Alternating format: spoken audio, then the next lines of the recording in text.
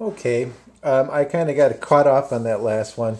We had these um, three equations that would describe, um, for simple harmonic motion, where the position of an object will be that's going in simple harmonic motion, what will be the velocity of the object in simple harmonic motion, and what will be the acceleration of the object in simple harmonic motion.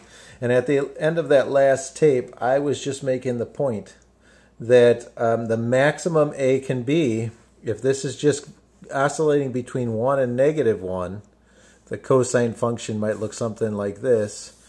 It starts like that and it goes like this. So that just oscillates between 1 and negative 1, but when we multiply it by a, it multiply it, it goes between a and negative a. Okay, so x max, the maximum that pos position it will be from from the um, origin is A.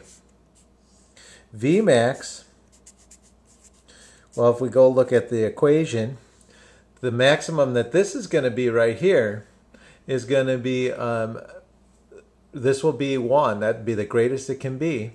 And so that's going to be negative, um, a, well, it will be A omega. That will be the most that it will ever be is A omega. That will be the maximum it can be. And the maximum acceleration it can have Remember again, this the biggest this can be is one, so it will be a a max is is going to be equal to um, a omega squared. So there you have it. Okay, I have a couple more things to tell you about this. Uh, what we did in that one is we started our our watch at t, we started our watch when the thing was right here. So at t equals 0, it was here, and it was just about to start to move this way, going back and forth. But sometimes um, we want to start our watch at different times, at times that are not like that.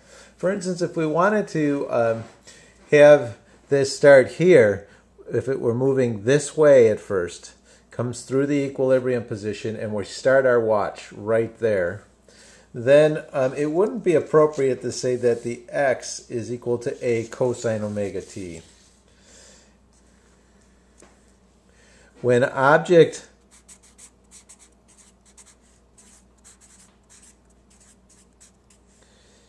is uh, at equilibrium,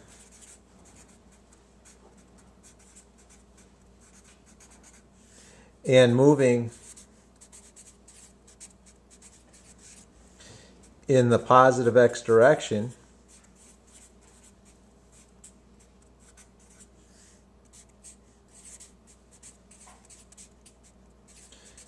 at t equals 0, then, um, and what I mean by that is this, see how it's at equilibrium and it's moving in the positive x direction, it's heading that way. Then um, the position function will look like this. What what function, sine or cosine, at t equals 0, it's at 0. That would be um, a sine omega t. Because the sine function looks like this. It starts at 0 and, and heads into the positive direction. If this is... Um, t, and this is x. This is the x-axis. Uh, okay, well, if that's the case, then our velocity will be the derivative of this, which is a omega cosine omega t. And the acceleration will be the derivative of that, which will be negative a omega squared sine of omega t.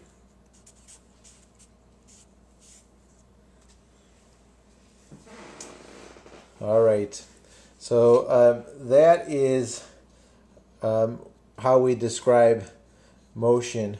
One more, one more of these. Let's just look at one other instance. Let's say we want to start our our watch at t equals zero, not with the thing moving this way, but with the thing moving that way. So let's say at t equals zero, the thing is moving that way. what do you suppose we would want to use for our original x versus our original position function? If at t, it's got to be at zero, but it's got to be moving in the x in the negative x direction. Well, then we would do x is equal to say this is the function we would want to use. It starts at zero, but it's moving down first. It's actually moving in the negative territory. It's moving toward negative a, not positive a. Okay, this this function is negative sine. It's a negative sine function, so it would be negative a sine omega t.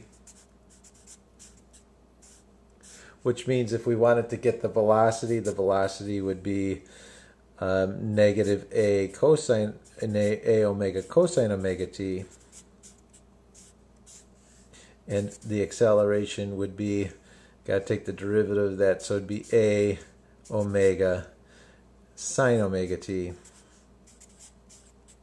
You checking my math here? All right. Hey, in any case, look what the maximum x is. It's still a. What's the maximum v? It's still a omega. What's the maximum acceleration? It's still a omega. Oops, squared. Oh, I almost missed that one. Yeah, it's still a omega squared. Okay, well, we'll call it a short video. Thanks. Bye.